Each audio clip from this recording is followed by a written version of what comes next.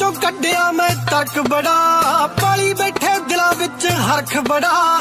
ਸੋਚਦੇ ਆ ਸਾਲੇ ਕਰ ਜਾਣਗੇ ਕਰੋਸ ਹੁੰਦਾ, ਘੋੜੇ ਤੇ ਕਤੀੜਾ ਵਿੱਚ ਫ਼ਰਕ ਬੜਾ। ਦੋਗਲੇ ਕਹਾਉਂਦੇ ਜਿਹੜੇ ਕਰਦੇ ਖਰਾਬੀਆ ਪਿੱਠ ਨਾ ਤਕਾਈਏ ਰੋਟੀ ਜਿੰਨਾ ਨਾਲ ਖਾਧੀਆ ਚੋਕਾਂ ਨਾਲ ਹੁੰਦੇ ਨਹੀਂ ਸਟਾਰਟ ਮਿੱਤਰਾ।